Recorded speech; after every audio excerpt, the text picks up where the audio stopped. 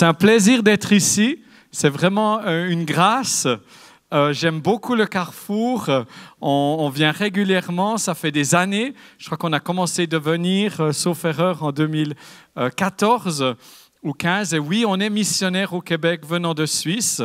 Et ce matin, eh bien, j'ai l'honneur de venir pour vous parler de la famille. La famille de Dieu, la famille selon les plans de Dieu. Alors c'est, je crois, la première fois que je fais un PowerPoint ici. Je vais voir comment ça marche. J'ai mon ami Mario. Merci Mario, on lui donne une main. Parce qu'en général, quand tout va bien, quand la sono va bien, ben, on oublie qu'il y a des gens derrière qui travaillent comme des petites fourmis pour que tout fonctionne bien. Par contre, s'il y a un couac, hein, s'il y a un problème, là, en général, on le réalise très, très vite. Allez, on va enclencher ce PowerPoint et puis on va voir euh, ce qui arrive. Donc la famille, la famille de Dieu, au cœur du plan de Dieu. On, on ne s'en sort jamais de la famille. On est coincé avec la famille. Toute notre vie, la famille nous suit et nous poursuit. Donc c'est vraiment un sujet central, c'est vraiment un sujet important. Qui ici fait partie d'une famille plus ou moins euh, proche quelques-uns qui sont sans famille, d'accord On priera pour vous tout à l'heure, on s'occupera de vous. Donc la famille, euh, moi je pensais à un moment donné que lorsque mes enfants seraient grands, j'en aurais enfin terminé avec la famille et puis qu'on pourrait passer aux choses sérieuses.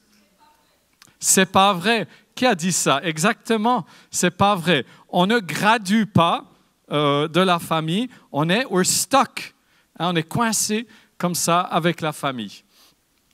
Et euh, Dieu nous entraîne dans euh, la famille jour après jour. Alors le plan de Dieu, ça c'est notre petit... Ouais, merci Mario.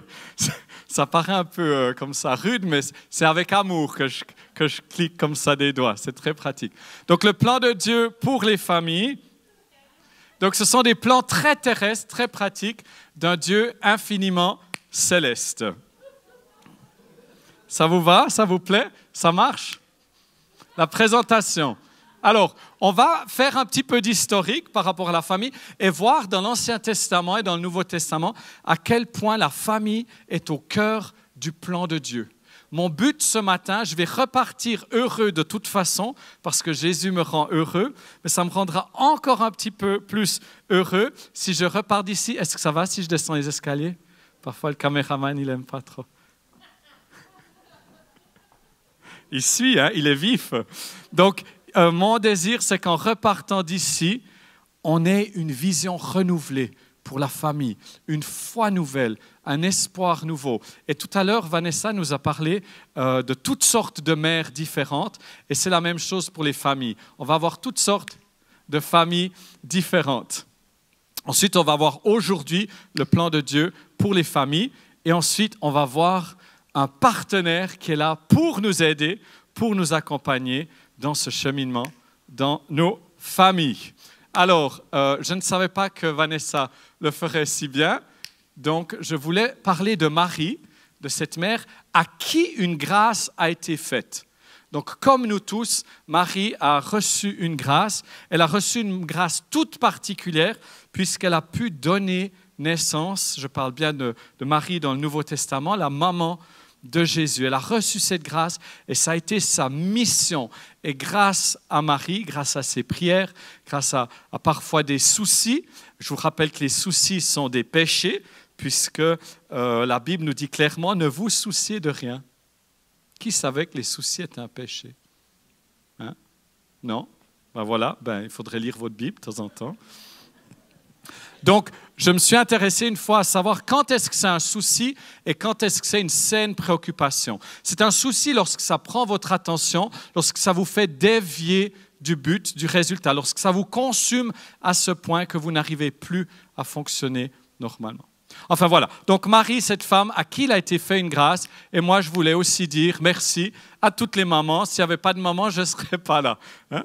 donc merci beaucoup et soyez bénis. Alors j'ai une bonne nouvelle pour toi ce matin, tu es un échec.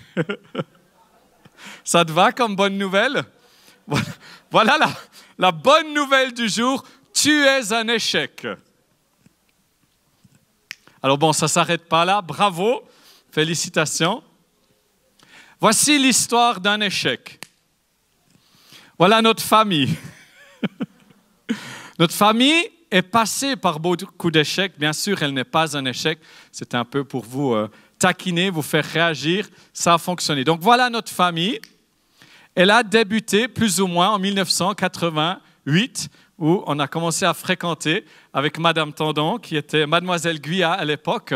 Donc ça remonte à quelques années. Et si je vous dis ça, c'est pas parce que j'ai tellement besoin de parler de ma famille, parce qu'elle est tellement intéressante. C'est simplement pour vous dire que j'ai un petit peu d'expérience avec la famille et c'est quelque chose que j'aimerais vous partager. Parce que mon message ce matin, c'est un message d'espoir c'est un message positif. Et pour que la famille, ce soit un message d'espoir, un message positif, il faut que l'on puisse voir la famille selon la perspective de Dieu. Voilà, on s'est marié à 20 ans, on ne savait pas trop ce qu'on faisait. Oui, quand même, on savait ce qu'on faisait. C'était jeune, mais ça valait tellement la peine. Aussi, dans ce message d'espoir, on va beaucoup entendre parler de l'idéal de Dieu pour la famille. Comme il y a l'idéal de Dieu pour Israël, l'idéal de Dieu pour l'Église, l'idéal de Dieu pour les pères, pour les mères, pour les enfants. Mais cet idéal, vous le savez comme moi, on est sur terre et très souvent on n'y arrive pas. C'est la définition du péché, c'est manquer le but. Et parmi nous, on a toutes sortes d'échecs. J'aime dire que je suis faible et brisé. Je ne viens pas ici me présenter avec toutes mes forces, même si j'aime bien faire le clown, mais je viens ici en humilité, du moins je l'espère, parce que je crois que de ces échecs, Dieu veut se glorifier. Et lorsqu'il y a un idéal, très souvent ce qui se passe, aussi pour la guérison, lorsque ça ne marche pas, le couple ne marche pas, la famille ne marche pas, ou on n'est pas guéri, ou bien il n'y a pas telle ou telle restauration. Très souvent, on va adapter nos comportements à la réalité pour ne pas être déçu ou offensé. Et je crois que certains parmi nous ce matin sont dans cette position-là, que ce soit par rapport à la famille, ou les enfants, ou le couple, ou d'autres domaines. C'est qu'à cause de la réalité, qui n'est pas la vérité, la vérité, c'est la parole de Dieu, c'est Jésus, c'est une personne, c'est une relation. Et à cause des réalités de la vie, on a petit à petit, c'est généralement pas consciemment, mais on diminue la barre parce qu'on n'arrive pas à supporter la tension entre ce que l'on vit et ce que la parole de Dieu proclame. C'est pourquoi je désire que ce matin, ce soit un message d'espoir, qu'il y a l'idéal de Dieu, il y a notre réalité, il y a la vérité. Par exemple, l'idéal de Dieu, c'est qu'on ait énormément d'enfants. Et puis parmi nous, on a des gens qui ont peu d'enfants ou pas d'enfants, ou ne peuvent pas avoir d'enfants, ou des enfants qui sont décédés, ou que sais-je mais il y a toujours ce désir de Dieu. Il y en a parmi nous qui ont des couples qui ne fonctionnent pas très bien. C'est toujours l'idéal de Dieu qu'on ait des couples forts, qui se réjouissent, qui vieillissent ensemble, qui deviennent comme des vieilles pommes ridées ensemble, qui rigolent quand on leur voit plus les yeux. C'est toujours l'idéal de Dieu. Il y a des gens qui meurent régulièrement, pour qui on a prié. C'est toujours l'idéal de Dieu, la guérison. C'est pour ça que c'est un message d'espoir qui vient dire, Lazare, parce que le Lazare fait bien les choses. Donc, Lazare, lève-toi. Ils ont dit non, il pue. On ne va pas aller le chercher, il pue. Et on a des situations qui puent dans nos vies. Le Seigneur, il dit oui, montre-moi ce qui pue dans ta vie. Parce qu'ensemble, il y a de l'espoir et mon idéal est toujours le même. Et nous, on a vécu des restaurations incroyables dans le niveau de la famille, du couple, au niveau des finances. On a encore énormément à apprendre au niveau de la guérison, au niveau des signes, des prodiges. J'ai encore ressuscité personne. Si ce n'est de temps en temps un élève qui dort en classe, mais il n'est pas mort. Donc voilà, c'est vraiment ce message d'espoir qu'on veut avoir. Et, je sais que ça peut être offensant parfois de présenter certaines choses parce que notre réalité ne s'aligne pas à la parole de Dieu. Mais je vous invite à passer par-dessus cette offense, à pardonner, à être pardonné, à recevoir la guérison et à dire ça reste le rêve de Dieu, ça reste l'idéal de Dieu et on va y arriver ensemble. N'abandonnons pas, n'adaptons pas notre foi.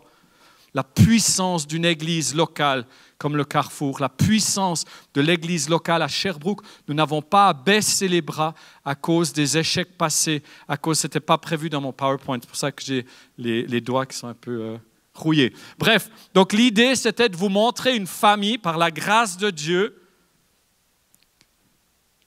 en partenariat avec Dieu, avec des choix radicaux, des choix différents, parfois qui ont même heurté notre église locale en Suisse, c'était de montrer un tout petit peu de ce que nous avions réussi à vivre. Et surtout pas de nous en glorifier. Si nous nous glorifions de quelque chose, c'est de ce que Dieu a fait. Ça, on a le droit de s'en glorifier.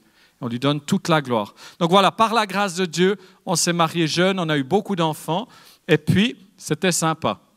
Donc, sur à peu près 11 ans, on a eu beaucoup d'enfants. Et puis, euh, ensuite, en 2000, on a ouvert une école chrétienne parce qu'on a réalisé à quel point on avait à cœur que nos enfants puissent recevoir à l'église, à l'école et dans la famille le même message. Ensuite, on a déménagé à Kansas City à la suite d'une situation familiale très, très difficile. Je suis entré en burn-out et le Seigneur a utilisé cet échec beaucoup trop d'activités. Il a utilisé cet échec pour faire quelque chose qu'il n'aurait pas pu faire autrement. enfin oui, il peut tout faire. Euh, mais il a utilisé ça, Romains 8, 28, toute chose concourt au bien de ceux qui aiment Dieu. Donc il a pris cette boue et il l'a appliquée à nos yeux. Et on a comme vécu une deuxième, euh, une résurrection avec un temps de formation. Ensuite, on a vécu un temps en France, euh, à Sherbrooke, et puis euh, aujourd'hui, donc cinq enfants, quatre mariés, trois petits-enfants, et puis la table de multiplication de 2 à 15. Voilà un tout petit peu pour vous dire à quel point on est reconnaissant, à quel point on a une passion pour la famille, à quel point notre famille n'est pas parfaite, à quel point il y a eu des hauts et des bas, mais c'est un message qui nous consume, c'est un message qui brûle en nous, que jeunes et vieux se réjouissent ensemble, les grands-parents, les parents, les enfants, même combat, tout un village pour lever nos enfants, avoir une vision pour nos enfants. Alors, l'intention de Dieu au départ dans Genèse, donc un homme et une femme à l'image de Dieu, une autorité, une responsabilité de conduire euh, cette famille, de multiplier, de remplir, d'être complémentaire, d'être en unité. Donc voilà vraiment ce plan de Dieu qu'on oublie parfois. Euh, pour ces familles. Vous savez, quand on est en train de laver la vaisselle, qu'on sort la poubelle ou bien qu'on paye les factures, c'est rare qu'on ait cette vision, cet idéal de Dieu, ce rêve. Oh, qu'est-ce que c'est beau la famille, c'est magnifique, je suis en train de multiplier la gloire de Dieu sur la surface de la terre. Et c'est là que le petit dernier, on est en train de le langer, puis qui nous fait pipi dessus. Hein? Histoire vécue. Donc c'est difficile, mais c'est important qu'on garde cela. Nous ne pouvons pas vivre avec nos yeux humains seulement. Nous ne pouvons pas vivre simplement le quotidien sans oublier que nous sommes des êtres infiniment célestes. Nous avons une touche d'éternité en nous. Nous sommes appelés à le vivre ainsi et non pas à ramener le ciel dans une réalité uniquement terrestre, mais d'amener le ciel sur la terre pour une transformation totale. Et ce matin, c'est un message d'espoir. Je vais le dire et je vais le redire, c'est un message d'espoir pour tous, quelle que soit la situation, quel que soit l'échec, pour toutes les formes de famille, à une nouvelle entité. Il y en avait un petit dernier.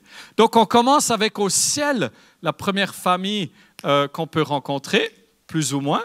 Euh, je ne vais pas entrer dans un débat théologique, mais on trouve déjà euh, ce type de famille avec le père, le fils, ça ressemble quand même pas mal à nos familles, ou bien peut-être qu'on pourrait le renverser, puis dire nos familles ressemblent à ce qu'il y a dans le ciel. Alors, je ne vais pas dire qui est qui, parce que je ne le pourrais pas. C'est un mystère. Il est grand, le mystère de la foi. Le mot Trinité, vous n'allez pas le trouver dans la Bible, mais il y a quand même cette idée du Père, du Fils, enfin, c'est plus qu'une idée, cette réalité de notre Dieu, Père, Fils et Saint-Esprit.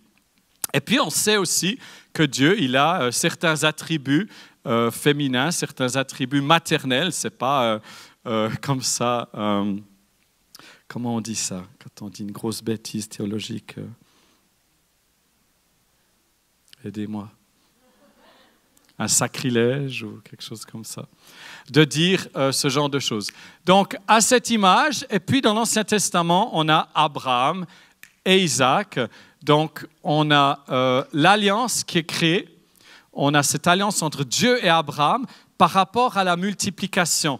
Hein, les grains de sable, les étoiles dans le ciel. Donc, Dieu a vraiment une, vision pour Abraham et pour la famille, euh, une vision pour la transmission, pour l'héritage, pour la lignée, la généalogie, les générations. Donc Dieu par rapport à Abraham et puis Dieu par rapport à nos familles.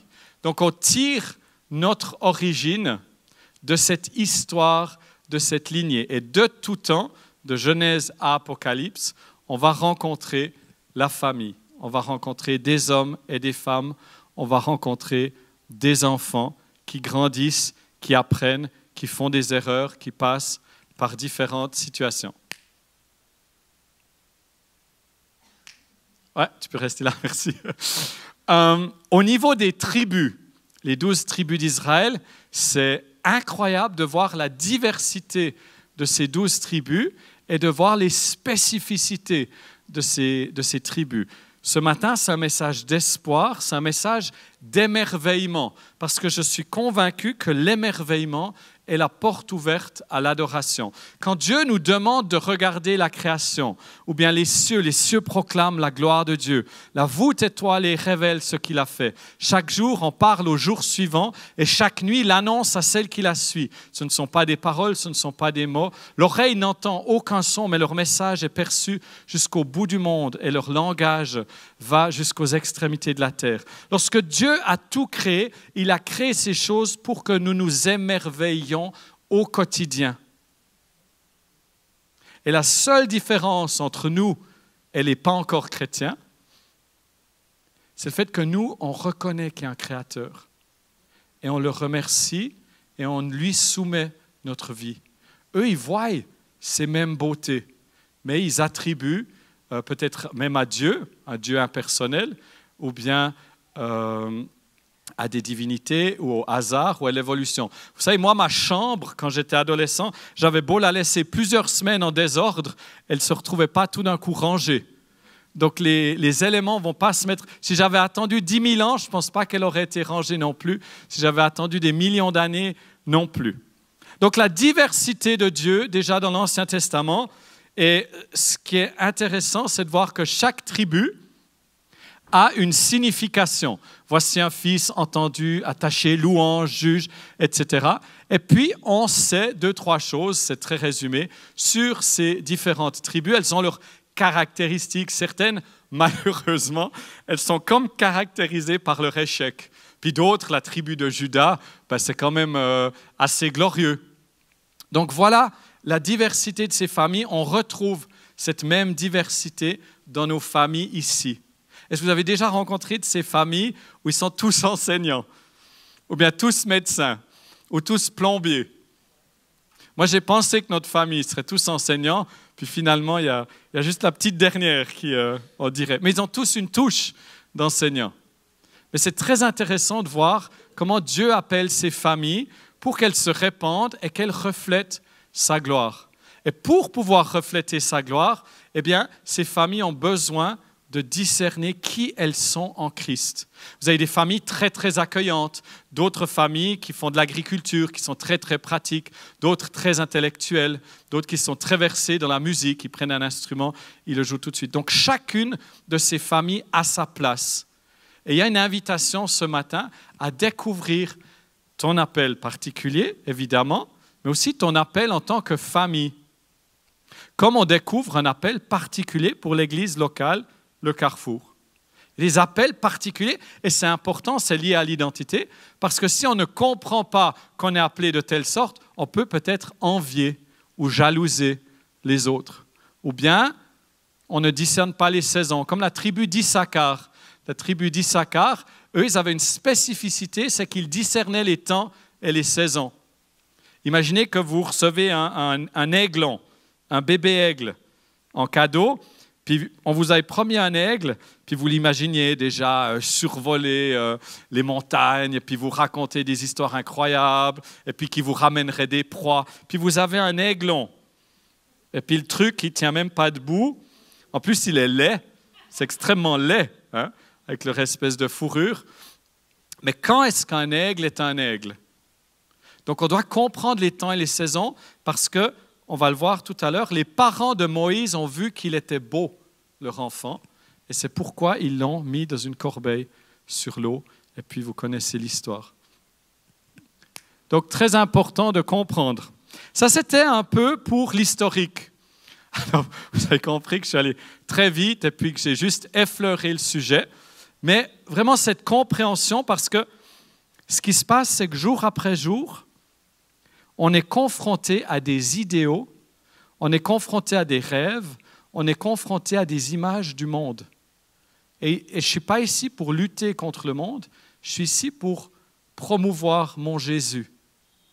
Mais à force de voir des familles dysfonctionnelles, à force de voir des familles qui sont réduites à leur portion congrue, à force de voir des familles qui sont bâties d'une manière euh, peu biblique, eh bien, on adapte notre manière de voir, fait des compromis plus ou moins conscients, on adapte, n'est pas toujours coupable parce qu'on est tellement entouré de ces représentations que finalement on perd euh, de vue ce que c'est réellement une famille. J'ai en tout cas pas la prétention de vous dire ce que c'est qu'une famille euh, dans l'absolu, mais on trouve dans la parole ces indices. On trouve dans la parole, et je vous invite à vous nourrir de ces familles de l'Ancien Testament.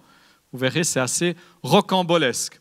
Alors aujourd'hui, on est en pleine guerre, puisqu'il y a le plan de Dieu pour les familles, mais il y a aussi le plan de l'ennemi, divorce, dépression, avortement, confusion, stérilité. Donc toutes ces choses qui s'opposent au plan de Dieu.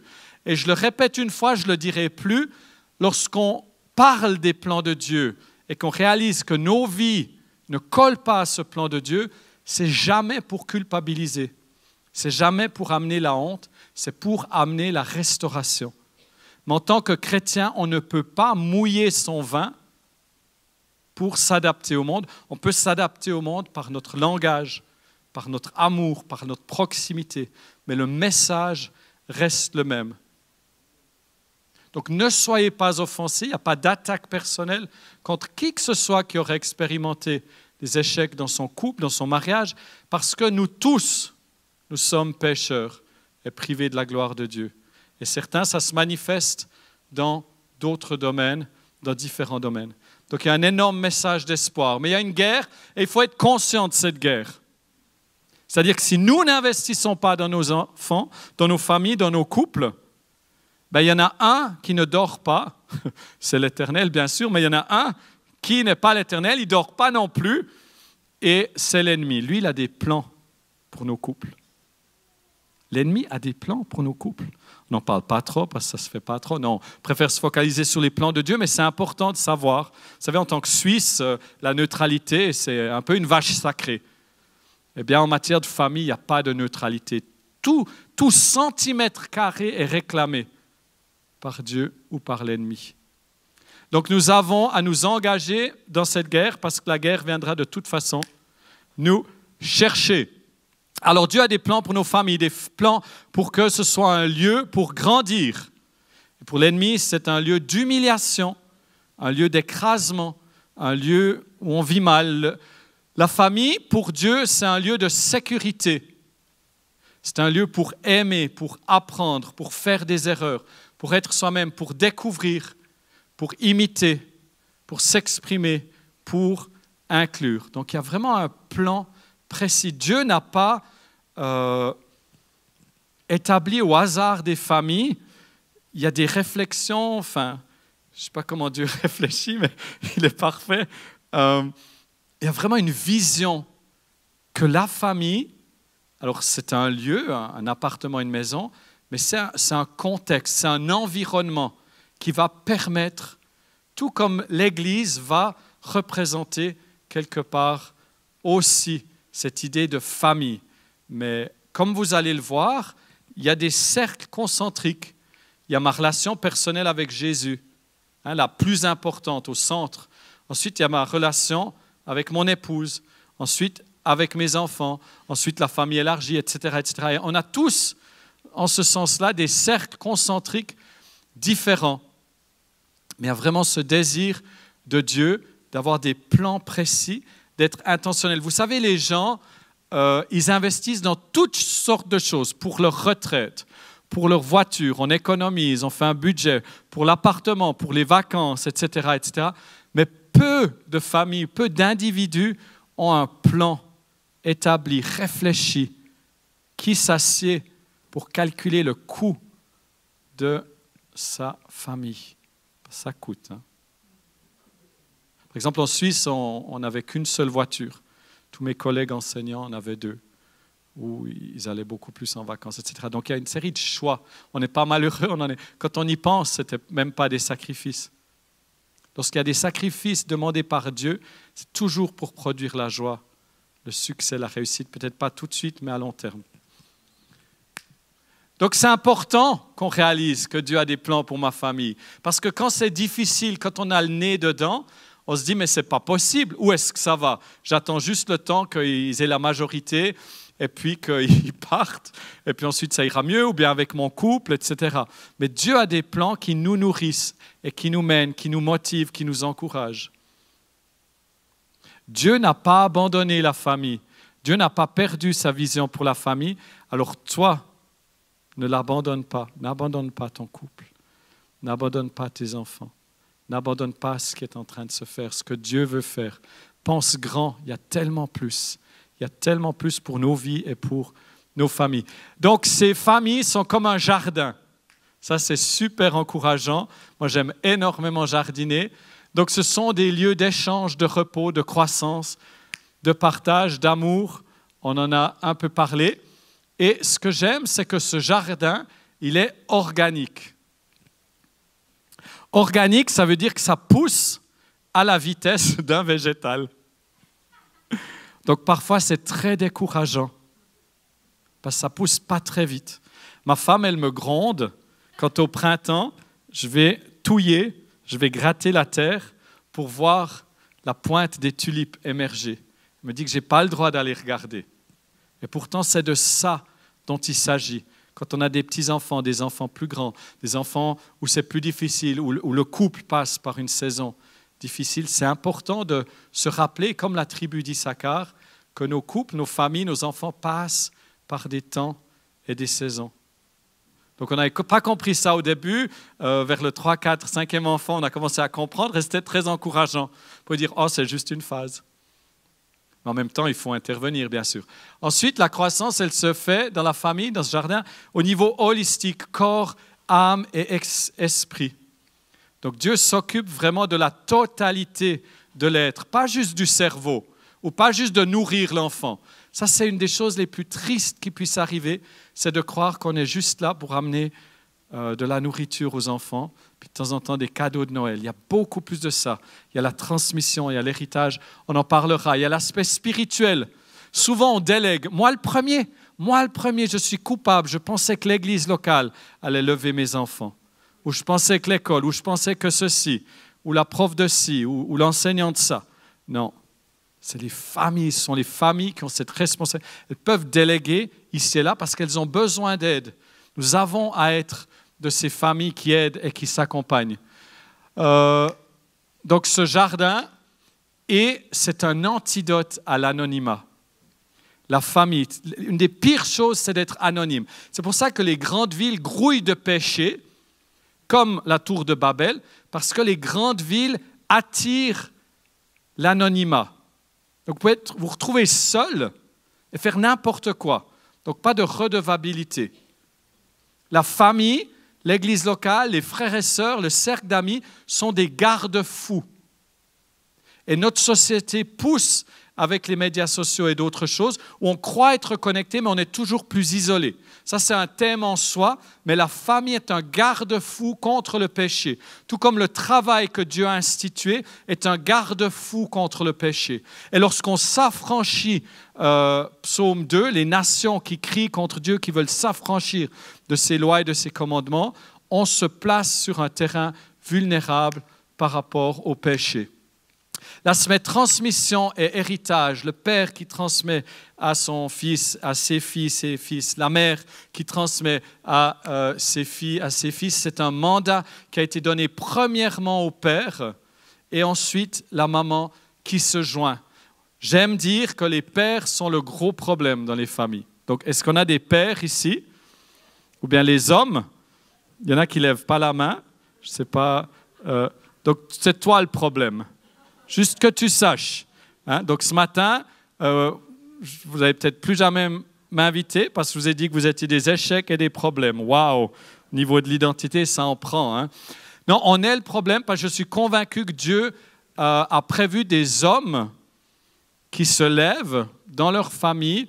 Et je crois que la femme, elle est, constituée, elle a été créée euh, avec exactement la même valeur, avec des fonctions différentes, mais il y a comme cette joie d'accompagner euh, quelqu'un qui prend des initiatives et des responsabilités. Et je suis le premier à euh, célébrer les femmes qui prennent des responsabilités des initiatives, mais il y a comme quelque chose euh, qui fait que lorsque l'homme prend sa place correctement, sans autoritarisme, mais dans une sainte autorité, comme Christ avait de l'autorité, il était néanmoins soumis à ses parents, vous avez déjà pensé à ça?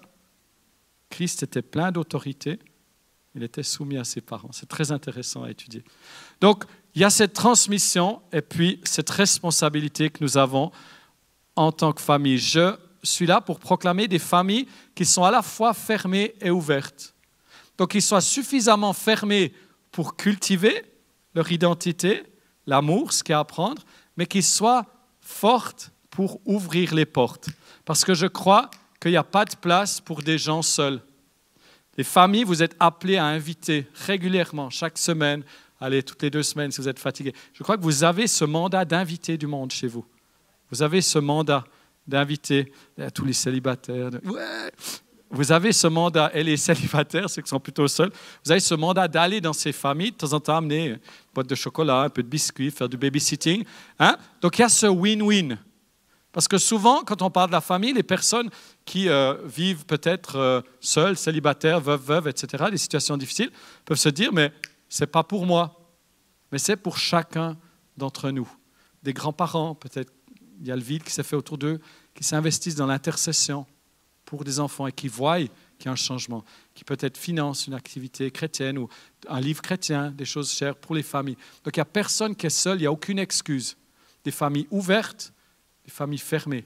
Il y a énormément de paradoxes dans la parole de Dieu, mais c'est ce que nous voulons vivre. La famille naturelle, la famille spirituelle, et puis on voit que ces deux, comme Jean et Marie, voici ton fils, voici ta mère. Donc on est censé idéalement avoir cette euh, superposition qui se fait. Famille naturelle, c'est aussi ma famille spirituelle, et elle s'étend avec l'Église, avec l'Église locale, avec peut-être le travail. On a, on a toutes sortes de phénomènes qui se produisent, mais je crois qu'il y a ce désir de Dieu à la base, c'est que tout commence avec ce couple, un père et une mère, et une famille qui se crée, des communautés, des villages, des églises locales, etc. Alors, ce qu'il nous faut avoir, c'est vraiment une vision pour ces enfants comme ces êtres qui sont en croissance et en épanouissement. Comme je vous l'ai dit, euh, les parents de Moïse ont vu qu'il était beau, c'est pourquoi ils l'ont mis dans une corbeille dans la rivière. Et Proverbe qui nous dit Instruis l'enfant selon la voie qu'il doit suivre, et quand il sera vieux, il ne s'en détournera pas. Et instruire, ce n'est pas juste quelques attouchements, quelques euh, prières par-ci, par-là. Si vous regardez ce que signifie instruire dans la parole de Dieu, c'est intense. Il y a de la mémorisation, il y a de la discipline, il y a beaucoup de joie, il y a beaucoup de fêtes. Ils aiment énormément faire la fête dans la Bible, mais il nous faut vraiment avoir cette vision pour... Euh, il les compte correctement, hein? Merci. 1, 2, 3, 4. Merci Mario, tu fais un super boulot. Donc, si on commence par la ligne du bas, la ligne du bas, qu'est-ce qui est le fondement de ma vie? Alors, bien sûr, c'est Jésus-Christ. Pour certains, c'est soi-même. Est-ce que c'est la famille, l'église ou l'école? Comment est-ce que vous hiérarchisez les choses?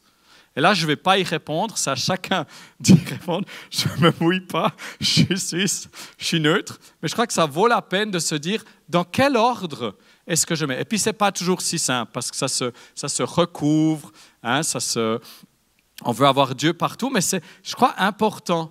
Euh, je connais, par exemple, une famille qui, qui tourne pas mal en, camping-car. Et puis, euh, tout ce qu'ils font, on voit que c'est vraiment orienté famille. Et puis, on voit des photos d'eux, ils sont en famille, et ils mangent en famille, ils font des trucs en famille. Et ça, c'est une bénédiction. Je pense que Dieu, c'était vraiment son désir dans ce jardin de pouvoir grandir dans euh, ce type d'environnement. Est-ce que la famille, est-ce que l'instruction dont on vient de parler, est-ce que l'éducation, c'est juste une histoire de cerveau?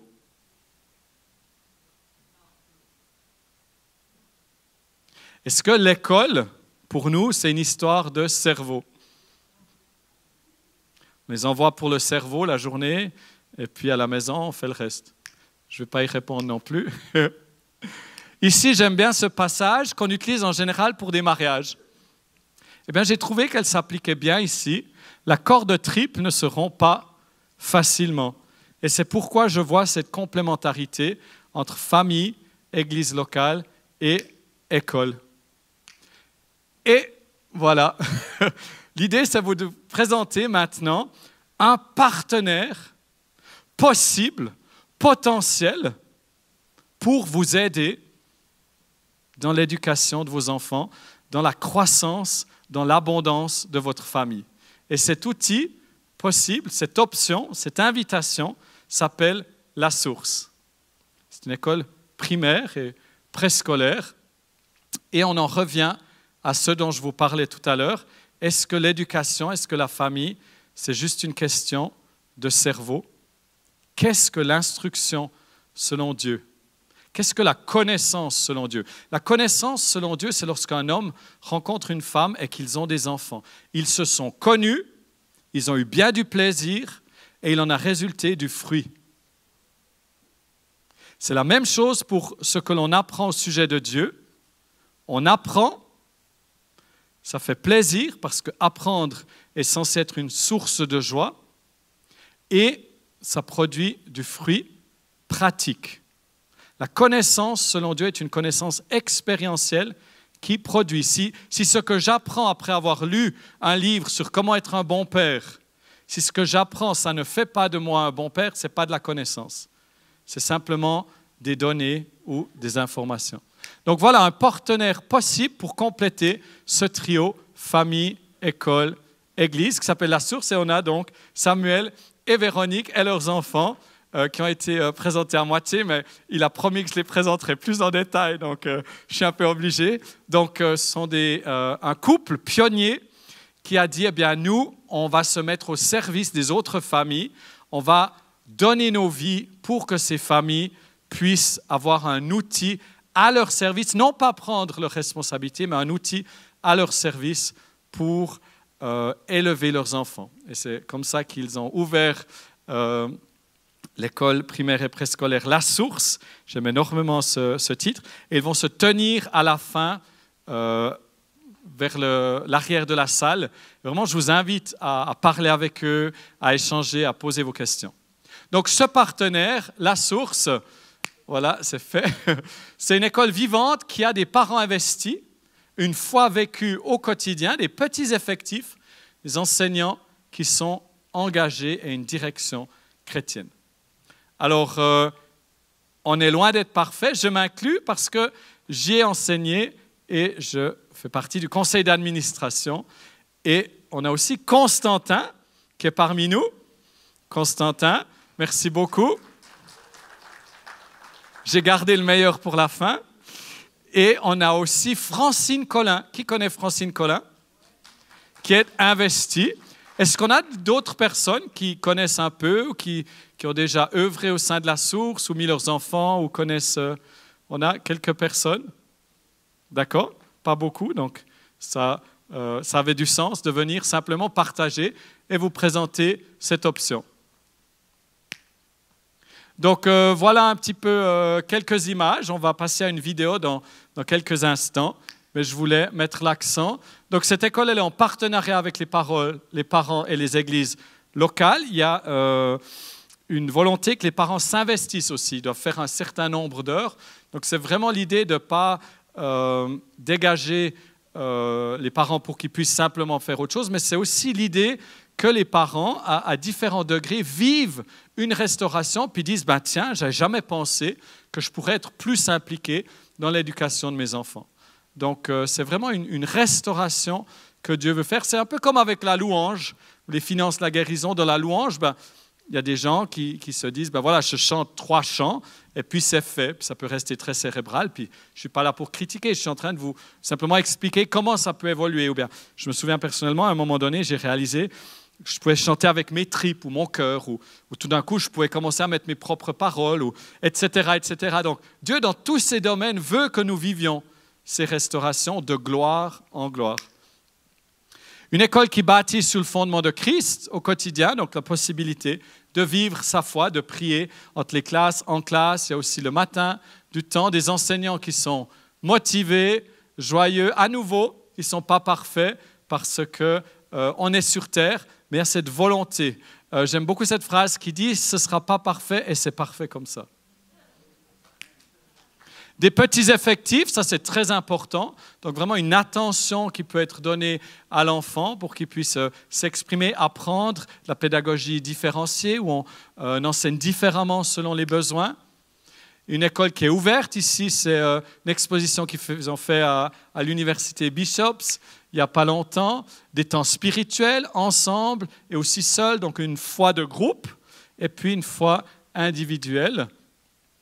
Un leadership, donc le conseil d'administration, la direction, qui sont des chrétiens impliqués.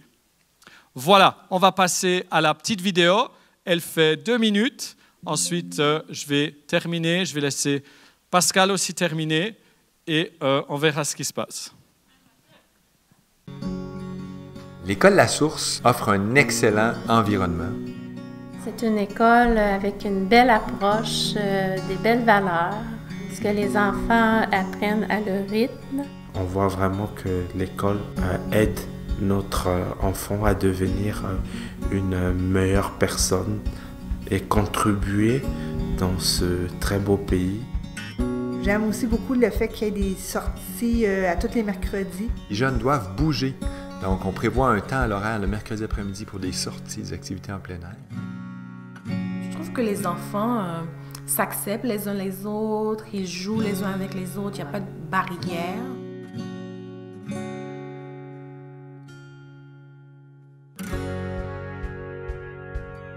Ils seront sans doute mieux considérés par les professeurs et par les, responsables de l'école parce que c'est une petite structure et tout le monde se connaît. Je recommande l'école La Source à cause de la proximité qu'on a avec nos élèves. C'est facile pour eux de créer un lien avec nous, de nous connaître. Puis je crois que c'est vraiment bon pour leur développement puis leur confiance en eux. On veut montrer notre exemple de recherche de l'amour de Dieu dans la vie de tous les jours.